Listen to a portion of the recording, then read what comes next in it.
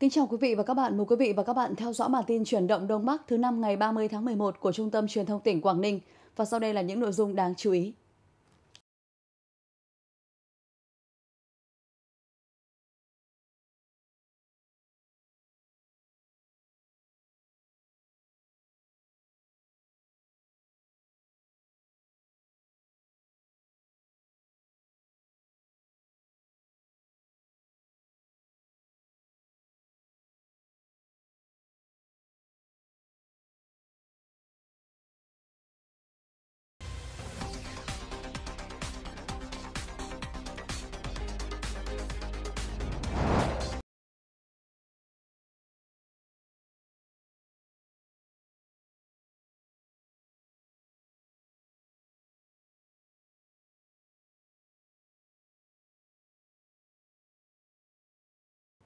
Thưa quý vị và các bạn, là một trong những công trình quan trọng hoàn thiện kết nối khu kinh tế Quảng Yên, đồng bộ kết nối liên vùng giữa Quảng Ninh, Hải Phòng và vùng đồng bằng sông Hồng. Do vậy, công tác giải phóng mặt bằng, phục vụ thi công dự án cầu Bến Rừng được ưu tiên đặt lên hàng đầu.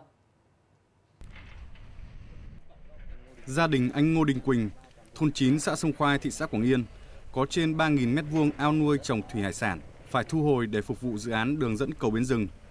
Sau nhiều lần được trực tiếp lãnh đạo thị xã Quảng Yên và các phòng ban chức năng đến tuyên truyền giải thích, ngày 25 tháng 11 vừa qua, gia đình anh đã đồng thuận tháo dỡ các công trình kiến trúc, bàn giao mặt bằng để các đơn vị triển khai thi công.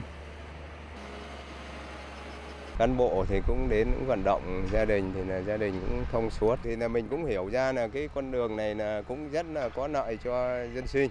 Thế thì là gia đình là cũng ủng hộ là cũng đã bàn giao mặt bằng cho cho cho cho nhà nước để thi công.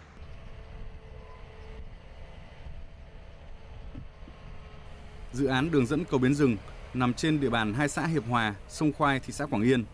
Dự án phải thu hồi tổng diện tích 13,28 ha, ảnh hưởng tới 131 hộ dân và tổ chức. Trong đó, diện tích đường dẫn là 11,57 ha, tương đương với 2,3 km chiều dài tuyến, phần còn lại là nút giao. Để đảm bảo mặt bằng thông toàn tuyến phục vụ tổ chức thi công, nhất là sau buổi kiểm tra chỉ đạo của đồng chí quyền chủ tịch Ủy ban nhân dân tỉnh Cao Tường Huy và phản ánh của Trung tâm Truyền thông tỉnh về những khó khăn trong công tác tổ chức thi công. Thị xã Quảng Yên đã ưu tiên tối đa thực hiện công tác giải phóng mặt bằng đối với dự án đường dẫn cầu Bến Rừng.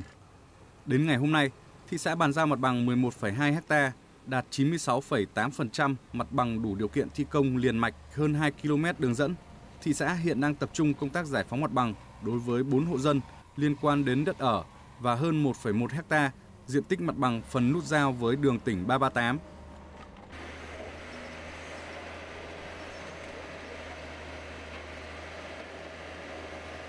Con nhân dân cũng đồng thuận với bên trung tâm quỹ đất là sẽ bàn giao mặt bằng sớm nhất. Nhà tôi đã bàn giao mặt bằng là tổng diện tích là hơn 500 mét vuông đất trồng lúa. Đây còn 0,37 hecta nữa liên quan đến 4, 4 hộ có đất ở nhà phải chuyển chỗ ở.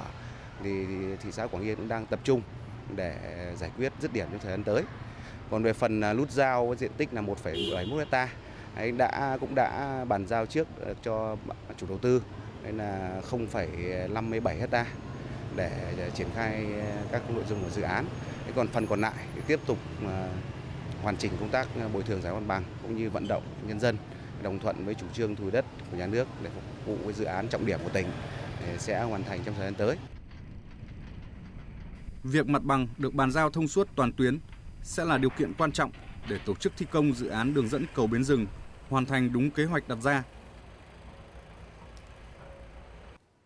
Hôm qua, thành phố Móng Cái, Quảng Ninh, Việt Nam và thành phố Đông Hưng, Quảng Tây Trung Quốc phối hợp tổ chức lễ khởi động công năng xuất nhập cảnh hành khách qua cửa khẩu quốc tế Móng Cái, khu vực cầu Bắc Luân 2. Việc triển khai làm thủ tục xuất nhập cảnh cho khách du lịch, khách bằng hộ chiếu qua cửa khẩu quốc tế Móng Cái, khu vực cầu Bắc Luân 2 là sự kiện quan trọng góp phần thúc đẩy phát triển du lịch của hai nước hai địa phương, giảm tải lượng khách thông quan qua cửa khẩu quốc tế Móng Cái, khu vực cầu Bắc Luân 1, tạo môi trường thông thoáng khu vực xuất nhập cảnh, thu hút khách du lịch trong nước và quốc tế. Đây cũng là hoạt động thể hiện tinh thần hợp tác hữu nghị truyền thống giữa hai địa phương, chào mừng Hội trợ Thương mại Du lịch Quốc tế Việt Trung lần thứ 15 năm 2023 tổ chức tại thành phố Móng Cái. Ngay sau khi cắt Băng khởi động thông quan, xe trung chuyển hai phía Việt Nam Trung Quốc đã chở khách du lịch xuất nhập cảnh đi qua vạch phân quản cầu Bắc Luân Hải. Còn tại huyện Hà Quảng, tỉnh Cao Bằng, hôm qua cũng mở cửa khôi phục lại nghiệp vụ xuất nhập cảnh tại cửa khẩu Sóc Giang Việt Nam và Bình Mãng Trung Quốc sau thời gian đóng cửa do dịch bệnh COVID-19. Thời gian mở cửa bắt đầu từ 7 giờ đến 16 giờ 30 phút hàng ngày. Ngay trong ngày đầu tiên mở cửa trở lại, cơ quan chức năng đã trang bị các điều kiện cần thiết về hạ tầng, nhân lực, cấp giấy thông hành cho hơn 20 hành khách đầu tiên xuất cảnh xuất cảnh từ cửa khẩu Sóc Giang Việt Nam sang Trung Quốc và trên 30 hành khách nhập cảnh từ Trung Quốc vào cửa khẩu Sóc Giang đúng theo quy định. Việc khôi phục lại nghiệp vụ xuất nhập cảnh tại cửa khẩu Sóc Giang góp phần tăng cường quan hệ hữu nghị truyền thống tốt đẹp, tạo điều kiện thuận lợi cho hoạt động xuất nhập khẩu, thúc đẩy hợp tác phát triển toàn diện trên các lĩnh vực kinh tế, văn hóa, du lịch, đem lại lợi ích cho người dân. Nhiều năm trở lại đây, thương hiệu quất Tân Viên, huyện An Lão, Hải Phòng dần được khẳng định thương hiệu khi ngày càng được nhiều người lựa chọn trong dịp Tết. Thời điểm này, khi chỉ còn hơn 2 tháng nữa là đến Tết Nguyên đán, người trồng quất ở Tân Viên đang tích cực chăm sóc để cây quất đẹp và chín đúng độ. Thôn Lương Câu, xã Tân Viên có hơn 100 ha diện tích đất nông nghiệp thì đã có trên 40 ha đang được trồng cây quất cảnh. Nghề trồng quất vất vả, mất nhiều công chăm sóc do cây hay bị sâu bệnh và phải trồng ít nhất từ 2 đến 3 năm mới cho thu hoạch, nhưng đổi lại cho hiệu quả kinh tế khá cao. Những năm trước, với diện tích mỗi xào trồng được từ 200 đến 250 cây quất, thì người dân trồng quất mỗi năm cũng thu được từ 100 đến 200 triệu đồng, tùy thuộc vào mức độ xấu đẹp và cây quất to hay nhỏ. Nên giai đoạn này là rất cần nước cho cây, nhưng mà thiếu nước là là, là không đủ nước để nuôi quả này. Mà thiếu nước là cái quả này là nó ảnh hưởng cái quả. Thời tiết năm nay thì so với mọi năm đấy thì nó cũng đá vào hanh rồi. Nhưng mà chưa so với mọi năm là nó chưa hanh khô mọi năm. Đấy là năm nay là cái độ ấm nhiều hơn. Thời tiết năm nay được đánh giá khá thuận lợi cho cây quất sinh trưởng phát triển. Thời điểm này, người trồng quất đang bước vào giai đoạn tạo dáng cho cây để tầm một tháng nữa cây quất sẽ có dáng, thế ổn định. Chất lượng quất ấy, của năm nay đấy thì nói chung là so với lại cái vụ à, năm 2022 đấy thì tôi nghĩ là cái chất lượng nó nó, nó hơn hẳn. Cái số lượng thì là, là gần như là đảm bảo giữ nguyên ngay bây giờ là cái màu cây và cái quả mà thậm chí là tất cả các lá nó đảm bảo xanh và mỡ cây và lá đảm bảo không sâu bệnh. Giá năm năm nay sẽ ổn định hơn năm ngoái. Dù nghề trồng quất vất vả, chịu nhiều ảnh hưởng của thời tiết, nhưng người trồng quất thôn Lương Câu, xã Tân Viên vẫn tận tâm gắn bó với nghề. Vì đây là công việc truyền thống, gắn bó nhiều năm, mang lại thu nhập ổn định cho người nông dân. Mỗi dịp sát Tết, người dân trồng quất lại luôn lạc quan, hy vọng vào một mùa quất bội thu, được mùa, được giá, để mang lại thu nhập sau một năm vất vả chăm sóc. Huyện Bắc Sơn là một trong những địa phương của tỉnh Lạng Sơn có thổ nhưỡng khí hậu phù hợp với các loại cây ăn quả có múi. Thời gian qua, Hội Nông dân huyện đã tích cực vận động hội viên phát triển kinh tế gắn với các loại cây có múi, đem lại hiệu quả kinh tế cao. Gia đình anh Dương Đình Đồng ở thôn Tân Sơn, xã Bắc Quỳnh hiện có trên 2 hecta trồng cây cam đường canh. Ban đầu anh trồng 300 cây, sau đó mở rộng dần, đến nay đã có trên 2.500 cây. Mỗi vụ thu hoạch, vườn cam của gia đình anh Đồng cho sản lượng 10 đến 20 tấn, mỗi năm cho thu nhập trên 800 triệu đồng, tạo việc làm cho gần 10 nhân công mùa vụ. Cây cam đường canh này thì với giá trị kinh tế cũng tương đối ổn định bởi vì là các lãi thì hay đến tận vườn mua với cái à, diện tích và số lượng cây này thì có những năm là cũng cho thu nhập là ờ, cho hiệu quả là năng suất là cũng hơn 10 tấn, có năm là 20 tấn, ờ, cải thiện được ờ, đời sống kinh tế gia đình thì cũng có ổn định hơn. Qua tổ chức hội dân thì chúng tôi cũng đã uh, chủ động xây dựng các cái chương trình kế hoạch ngay từ đầu năm thì là khuyến khích tức là các hộ gia đình là phát triển các mô hình kinh tế phù hợp với uh, thế mạnh và điều kiện từng gia đình. Qua đây thì uh, trên địa bàn thì cũng rất là có nhiều cái mô hình kinh tế có hiệu quả. Ví dụ như chúng anh đồng và là rồi các mô hình như trồng à, bưởi diễn, bưởi da xanh, rồi trồng à, thanh long nữa, và trồng quýt. Thì qua các cái mô hình thì cũng à, đã góp phần tức là nâng cao cái thu nhập của toàn dân. Nhận thấy hiệu quả kinh tế từ cây ăn quả có múi trên địa bàn huyện, Hội Nông dân huyện Bắc Sơn, tỉnh Lạng Sơn đã tích cực vận động hội viên nông dân chuyển đổi giống cây trồng, sang các loại cây như cam đường, cam vinh, quýt vàng, bưởi diễn. Thường xuyên tổ chức các chương trình tập huấn, hướng dẫn kỹ thuật chăm sóc cây, hỗ trợ nguồn giống phân bón cho hội viên. Đến nay, trên toàn huyện, diện tích trồng cây có múi đạt trên 700 hecta, cho sản lượng ước tính trên 2.000 tấn quả. Còn phải học hỏi nhiều. Những quả to quả. Thì Hội nông dân huyện Bắc Sơn cũng đã tổ chức triển khai một số cái Ờ, công việc, ví dụ như là tập huấn, rồi là hướng dẫn về khoa học kỹ thuật ờ, đối với cây có múi, rồi là ờ, định hướng cho hội viên nông dân sử dụng các loại phân làm sao nó có hiệu quả đem lại năng suất và chất lượng cho cây có múi. Đối với những hội viên nông dân mà có đất đai và trồng những cây có múi thì thì cũng đem lại cái thu nhập cao và cải thiện được cuộc sống và đặc biệt là là, là tăng cái thu nhập cho hội viên nông dân. Thời gian tới, Hội Nông dân huyện Bắc Sơn tiếp tục triển khai nhiều hoạt động hướng đến giúp đỡ người dân trồng và chăm sóc, phát triển các vườn cây ăn quả có múi trên địa bàn hỗ trợ hội viên hoàn thiện hồ sơ chứng nhận sản phẩm ô cốp cho buổi diễn của huyện, qua đó nâng cao giá trị cây ăn quả trên địa bàn. Tiếp theo là các thông tin giá cả thị trường đáng chú ý. Hàng năm vào thời điểm này là lúc người dân thu hoạch giống bưởi diễn chín sớm. Năm nay, bưởi diễn chín sớm có giá từ 20 đến 25.000 đồng một quả bán tại chợ. Còn giá mua tại vườn chỉ từ 10 đến 15.000 đồng một quả. Một trong những nguyên nhân khiến giá bưởi diễn chín sớm giá không cao là do hiện trên thị trường đang bán rất nhiều các loại bưởi khác như bưởi đỏ Tân Lạc, bưởi Hoàng, bưởi Phúc Trạch. Tại khu vực miền Bắc, giá lợn hơi hôm nay ngày 29 tháng 11 tiếp tục giảm 1.000 đồng đến 2.000 đồng một kg trên diện rộng và dao động trong khoảng từ 49.000 đến 50.000 đồng một kg.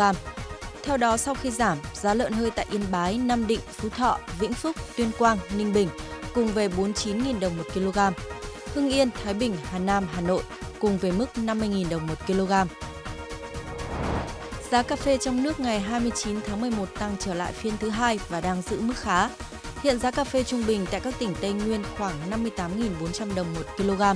Giá mua cao nhất tại tỉnh Đắk Lắk là 58.700 đồng một kg. Tại tỉnh Gia Lai, Con Tum ở mức giá 58.400 đồng 1 kg. Tại tỉnh Đắk Nông, cà phê được thu mua với giá 58.500 đồng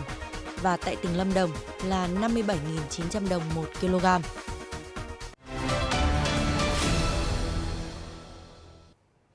Thời gian qua, huyện Việt Yên, tỉnh Bắc Giang đã đầu tư cho 100% các nhà văn hóa của các thôn, tổ dân phố có wifi miễn phí, phục vụ hoạt động tổ công nghệ số cộng đồng và nhu cầu của nhân dân, qua đó giúp nâng cao chất lượng đời sống tinh thần của người dân và phục vụ nhiệm vụ xây dựng xã hội số trên địa bàn. Từ khi có Wi-Fi miễn phí được lắp đặt tại nhà văn hóa thôn và chiếc TV thông minh, chỉ với vài thao tác kết nối, tìm kiếm đơn giản nhanh gọn – ông Dự đã dễ dàng có những câu chuyện hay, ý nghĩa về Bác Hồ để tổ chức buổi sinh hoạt chuyên đề cho tri bộ thôn. Việc lắp đặt hệ thống Wi-Fi tại trung tâm nhà văn hóa của thôn là một chủ trương và một việc làm hết sức thiết thực và hữu ích. Trước hết là nó giúp cho hệ thống chính trị của thôn điều hành các công việc thường xuyên của thôn theo các nhiệm vụ được giao đến tới các tổ chức tự quản ở các xóm ngõ được thuận lợi và tới các ban ngành đoàn thể khác trong hệ thống của thôn. Song song với lắp đặt wifi miễn phí, tại các nhà văn hóa trên địa bàn huyện đều có gắn mã QR tất cả 25 dịch vụ công thiết yếu để tổ công nghệ số cộng đồng hướng dẫn người dân thực hiện. Cái Wi-Fi mà tại nhà văn hóa các tổ dân phố thì hiện nay được phát huy rất là tác dụng, giúp cho người dân à, tiếp cận các cái dịch vụ công trực tuyến tiện ích hơn. Ví dụ như là thực hiện cài đặt à, mã định danh điện tử hai là cài đặt à, VNID, thứ ba là thanh toán tiền mặt thế và cũng có thể là vừa ở nhà hoặc ở nhà văn hóa thì cũng thể giải quyết được tất cả các cái thủ tục hành chính. Huyện Việt Yên đã tập trung chỉ đạo thực hiện chuyển đổi số. Mạng lưới mạng viễn thông tiếp tục được triển khai, mở rộng, đảm bảo băng thông kết nối, phục vụ người dân doanh nghiệp. Trên 90% người dân có điện thoại thông minh và 100% nhà văn hóa thôn đã được triển khai Wi-Fi miễn phí. Qua đó đã giúp tỷ lệ dịch vụ công trực tuyến phát sinh hồ sơ trên địa bàn đạt 95,5%. Trên cơ sở cái wifi lắp đặt miễn phí tại các nhà tổ dân phố, uh, hướng dẫn người dân cái thực hiện 25 dịch vụ công trực tuyến này. Đấy, làm thế nào để tất cả người dân uh, hay là công dân số trên địa bàn là chúng ta nắm được là cái việc mà thực hiện cái dịch vụ công trực tuyến. Và đặc biệt trong năm nay thì chúng tôi đã chỉ đạo các nhà trường trên địa bàn à, đưa một cái tiết ờ, ngoại khóa là cái việc mà dạy về dịch vụ công trực tuyến và năm cái kỹ năng số cơ bản thì được dạy tại các trường cho cơ sở đến trung học phổ thông. Từ việc lắp đặt wifi miễn phí tại các nhà văn hóa cùng sự vào cuộc tích cực tuyên truyền của tổ công nghệ số cộng đồng thôn và xã đã giúp cho người dân hiểu được những lợi ích của chuyển đổi số. Qua đó nâng cao được đời sống tinh thần của nhân dân, thực hiện tốt nhiệm vụ xây dựng xã hội số tại địa phương. Từ ngày 1 tháng 12, Google bắt đầu tiến hành xóa những tài khoản không hoạt động trong vòng ít nhất 2 năm. Theo đó, những tài khoản được tạo nhưng sau đó người dùng không bao giờ truy cập lại sẽ bị loại khỏi hệ thống đầu tiên. Tiếp đến là các tài khoản không được mở trong ít nhất 2 năm. Những dịch vụ Google liên kết với tài khoản như Gmail, Docs, Drive hay là Photos cũng sẽ bị xóa sổ theo. Với đặc thù một số cấp học dạy hai buổi trên ngày, nhu cầu ăn bán chú tại trường của học sinh ngày càng tăng. Tại thành phố Cẩm Phả, Quảng Ninh, năm học này có hơn 19.000 trẻ mầm non và học sinh đăng ký ăn bán chú tại trường. Chính vì vậy, vấn đề kiểm soát chất lượng, đảm bảo an toàn vệ sinh thực phẩm, bữa ăn bán chú được ngành giáo dục đặc biệt chú trọng nhằm bảo đảm sức khỏe cho học sinh. Với hơn 1.200 học sinh đăng ký ăn bán chú tại trường, trường tiểu học Cẩm Thủy lựa chọn đơn vị đủ điều kiện cung cấp suất ăn bán chú cho học sinh. Để đảm bảo an toàn, nhà trường thường xuyên kiểm tra chất lượng thực phẩm ngay từ đầu vào và quy trình chế biến tại cơ sở cung cấp suất ăn sẵn. Ngoài ra, mọi phụ huynh có nhu cầu đều có thể đến tận nơi giám sát quy trình đưa thực phẩm từ bếp đến bàn ăn của học sinh mà không cần báo trước. Kiểm tra, giám sát cái ờ, chất lượng đảm bảo vệ sinh an toàn thực phẩm ở đây. Để cùng với hai phụ huynh khác trong đoàn thì ờ, chúng tôi thấy rằng là cái việc phục vụ ở đây là tương đối tốt chất lượng đảm bảo, vệ sinh an toàn thực phẩm à, sạch sẽ để cho các con em của chúng tôi trong trường tiểu học Cẩm Thủy được à, đến trường trong một cái môi trường đã được chăm sóc tốt rồi thì cái vấn đề về ăn uống, bán chú thì sẽ được đảm bảo ngày càng tốt hơn. Tôi cũng mong là luôn luôn là như thế. Trường mình cũng có cái rất là thuận tiện là nhà trường cũng gần với công ty cho nên khi mà vận chuyển các suất ăn của các con sang đến nơi là vẫn còn đảm bảo, rất là ấm, nóng à, trong mọi cái điều kiện thời tiết và các con ăn thì cái suất ăn rất là sạch sẽ, gọn gàng, đảm bảo chất lượng Thay vì lựa chọn đơn vị cung cấp suất ăn sẵn, trường mầm non Hoa Hồng tổ chức nấu ăn bán chú cho 100% trẻ mầm non. Để đảm bảo an toàn cho trẻ, nhà trường đặc biệt chú trọng đến khâu lựa chọn thực phẩm đảm bảo tươi ngon, có nguồn gốc xuất xứ rõ ràng. Ngoài ra, các hoạt động trong khu vực bếp ăn đều được thực hiện theo một chiều duy nhất nhằm đảm bảo vệ sinh, tránh nhiễm khuẩn chéo giữa thực phẩm sống và chín.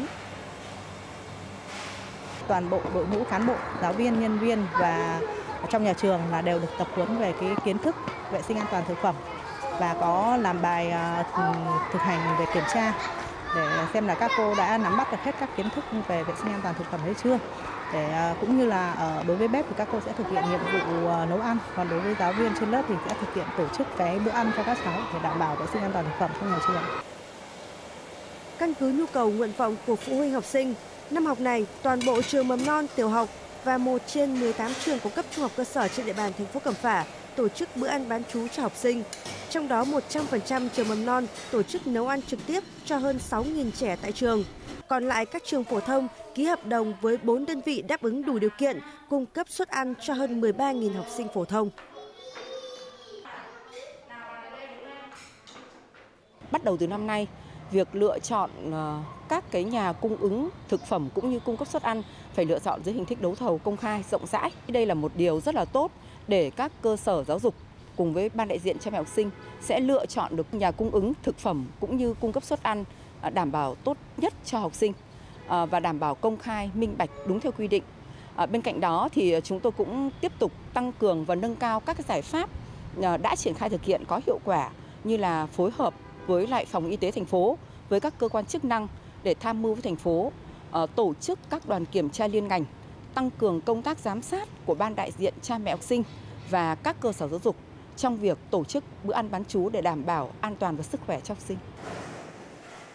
Việc kiểm tra thường xuyên chặt chẽ công tác đảm bảo an toàn vệ sinh thực phẩm bữa ăn trường học là hết sức cần thiết, góp phần đảm bảo sức khỏe học sinh, đáp ứng yêu cầu học hai buổi trên ngày của trẻ mầm non và học sinh tiểu học theo chương trình giáo dục phổ thông 2018, tạo niềm tin để các bậc phụ huynh yên tâm gửi gắm con em đến trường. Cùng với đảm bảo vệ sinh an toàn thực phẩm trong trường học, việc kiểm soát an toàn thực phẩm khu vực ngoài cổng trường cũng cần được quan tâm hơn.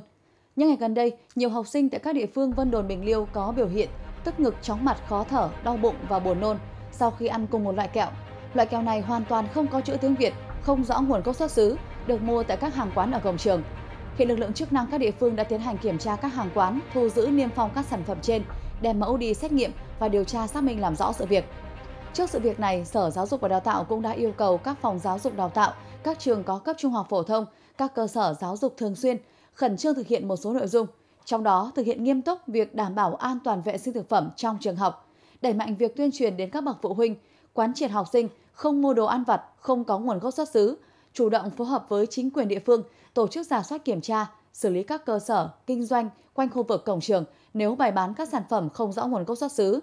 Các cơ sở giáo dục chỉ đạo cán bộ, giáo viên, nhân viên, học sinh, học viên nêu cao tinh thần trách nhiệm để chủ động phát hiện các cơ sở kinh doanh khu vực cổng trường kinh doanh các sản phẩm thực phẩm không nguồn gốc, báo ngay cho chính quyền địa phương để có biện pháp ngăn chặn kịp thời. Cuộc sống sẽ đẹp hơn, ý nghĩa hơn khi chúng ta biết sẻ chia và làm được nhiều việc tốt. Mới đây tại cơ quan công an xã Thượng Yên Công, thành phố Uông Bí, anh Nguyễn Bá Miên sinh năm 1972, trú tại xã Thống Kênh, huyện Gia Lộc, tỉnh Hải Dương, là thợ xây dựng đang làm việc tại xã Thượng Yên Công, đã trao trả lại số tiền 45 triệu đồng nhặt được cho người đánh rơi là anh Ngô Thành Lê, sinh năm 1977, trú tại thôn Nam Mẫu 2. 45 triệu đồng là số tiền lớn đối với một thợ xây, nhưng anh Miên đã không hề do dự mà lập tức đến cơ quan công an xã nhờ xác minh, tìm và trả lại cho người đánh rơi ngay sau khi nhặt được. Hành động đẹp của anh Miên đã lan tỏa những việc làm tốt trong cộng đồng. Và tới đây chương trình chuyển động Đông Bắc ngày hôm nay của Trung tâm Truyền thông tỉnh Quảng Ninh xin được kết thúc. Cảm ơn quý vị đã quan tâm theo dõi. Xin kính chào và hẹn gặp lại.